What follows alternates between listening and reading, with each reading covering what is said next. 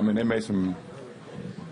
They made some couple shots, you know, after uh, after we made them force them to call a timeout, and uh, it, it was a game of runs. Obviously, you saw that, and uh, they made the final run. You said yesterday you don't like it to be easy this process. Uh, Yeah. You enjoy the challenge. But Yeah. What keeps you going, or what? Where, can you see any incremental growth? In, in Yeah, yeah, I'm, I'm fine. I'm fine, and uh, we're fine. You know, it's a long season. It's way too. We're out two starting point guards. Right, so not uh, not overlooking what's going on. I wasn't going to overlook if we had success. I'm not going to overlook we had, had a couple games off. I'm not uh, I'm not getting too high, get too low. I'm an even kill guy, and understand this is a long process for us. We played some different, like I told you, guys. We played some crazy lineups that we haven't even played in practice. You know, so um, you know we'll continue to get better.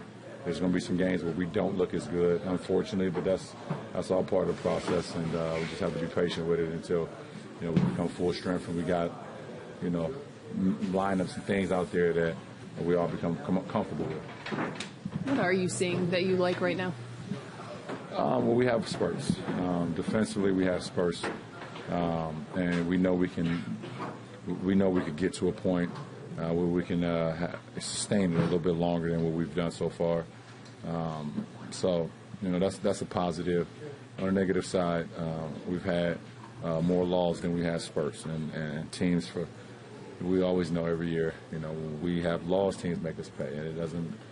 Uh, doesn't matter what they're shooting. It doesn't matter how they're playing. Uh, team's going to make us pay, and uh, it happened again tonight.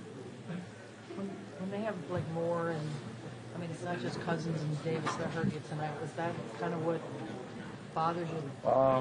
No, it's not that it bothers me. Those guys are professionals. Like we're professionals. We didn't guard, um, uh, you know, to our capabilities. Um, you know, Jrue, uh, kind of, you know, he always plays well versus us.